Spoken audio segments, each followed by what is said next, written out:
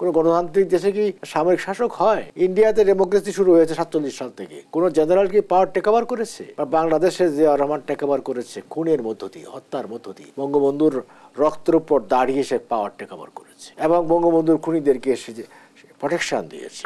আইনি প্রোটেকশন দিয়েছে। আপনার কাছে জানতে চাই, আপনাকে ছাড়া আলোচনা আমরা কিছুটা এগিয়ে নিয়েছি। যেমনটি আসলে নীলুফার চৌধুরী মনে বলছিল যে তাদের আন্দোলন চলতেই থাকবে। আমরা দেখছি যে একদিকে নির্বাচন, অন্যদিকে আমরা বিরোধী দলের কর্মসূচিও দেখছি অবরোধ কর্মসূচিও দেখছি। কিন্তু রাজনৈতিক কোনো মীমাংসা হচ্ছে না। এই মীমাংসা ছাড়া যদি আসলে তফসিল ঘোষণা হয়ে যায় তাহলে কি আমরা ধরেই নিতে পারি যে আবারও একতরফা নির্বাচনের পথেই আপনারা হারছেন একতরফা কেন? বাংলাদেশে তো registered party forty four BNP কি একটাই পার্টি? আর পার্টি নেই। দুহাজার চোদ্দ সালে কতটি দল অংশগ্রহণ দু হাজার সালে যাবেন না তো। দু হাজার চোদ্দ সালে গেলে আপনার বিএনপি যেভাবে সন্ত্রাস করেছে, তখন কি আমরা সন্ত্রাসের কাছে সারেন্ডার করব নাকি? আগুন, সন্ত্রাস, খুন, হত্যার কাছে সারেন্ডার করব?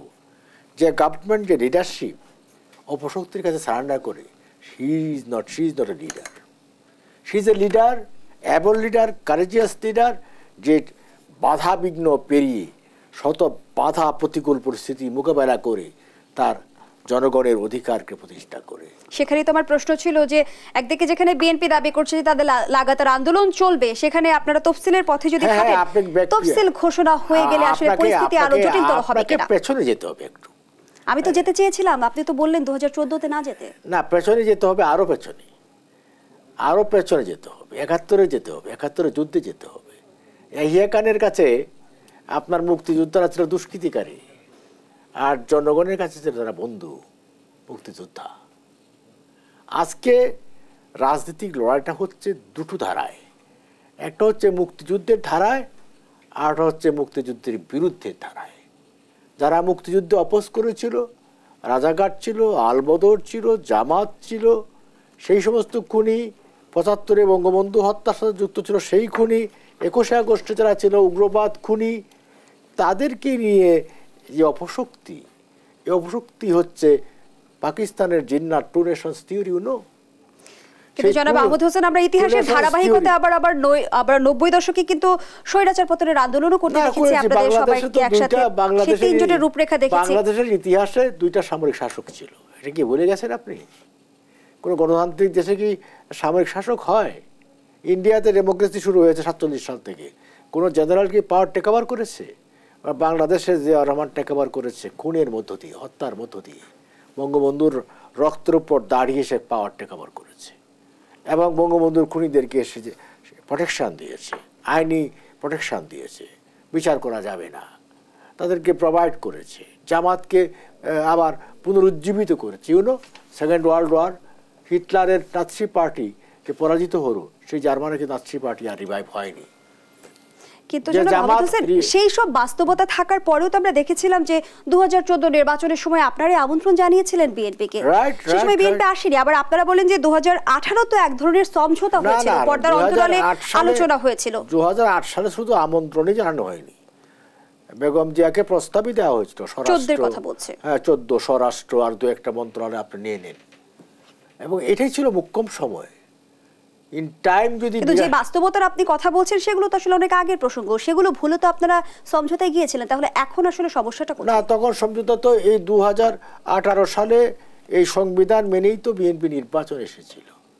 তখন আসলেন আজকে আসবেন না কেন?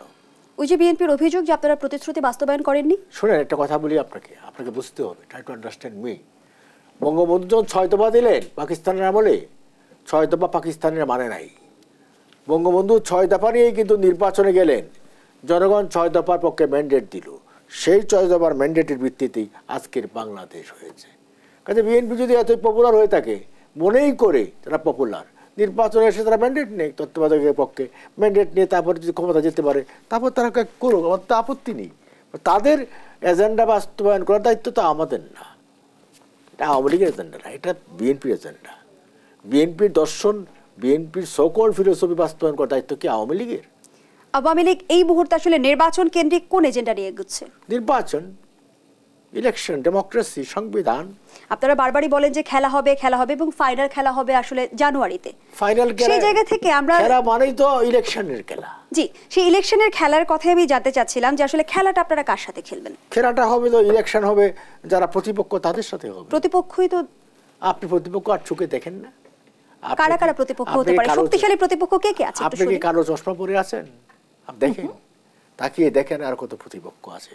অপশক্তির বাইরেও আরও প্রতিপক্ষ আছে। বিয়াল্লিশটা চৌচল্লিশটা রাজনৈতিক দলের মধ্যে তো এই এই যে আপনার ইলেকশন কমিশনে গিয়েছে ছাব্বিশটা পার্টি।